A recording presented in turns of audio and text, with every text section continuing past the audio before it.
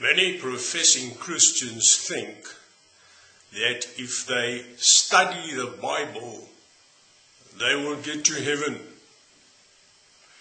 If we do not obey Jesus Christ and follow Him, deny ourselves every day, pick up our cross and follow Him, we will not enter the kingdom of heaven. Many people uh, just read the books, Christian books. They watch the videos, listen to other people's testimonies. They go to church. They listen to the preacher, but they do not follow Jesus. They never become doers.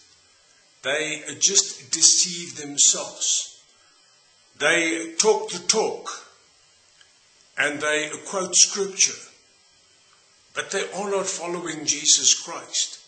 They have no testimony of their own.